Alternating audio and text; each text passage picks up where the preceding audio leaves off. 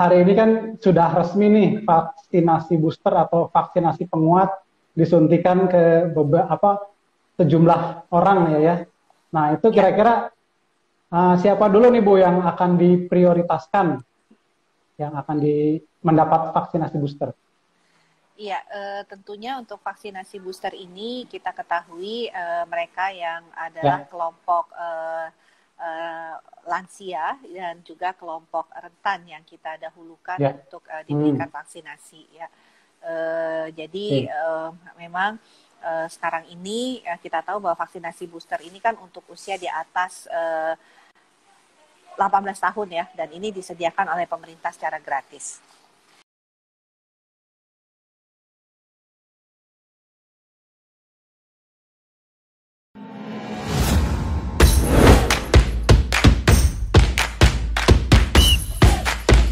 Ayam kalau diaduk-aduk jadi cair.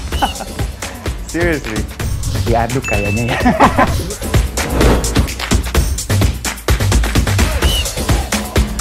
oh, perlu luar negeri gimana ya? Ini, ini demi kemajuan bangsa Indonesia.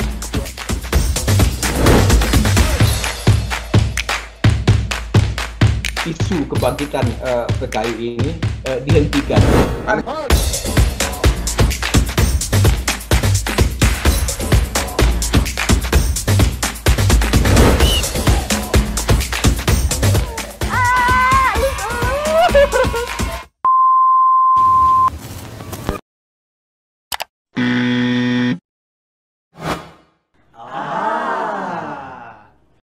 Medcom.id, a part of Media Group News.